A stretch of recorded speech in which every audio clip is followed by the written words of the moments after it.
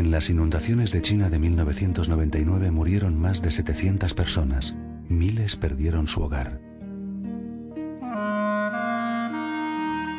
El hogar de Teresa no se lo ha llevado ninguna inundación. Un estúpido accidente de moto se ha llevado para siempre a sus dos únicos hijos. Iban a más de 160 kilómetros por hora. En España, cada año más de 140.000 personas sufren heridas en accidentes de tráfico. Cerca de 6.000 mueren. Casi 10 veces más que en una devastadora inundación. Ellos no pudieron evitarlo. Tú sí puedes evitarlo. Por favor, cumple las normas.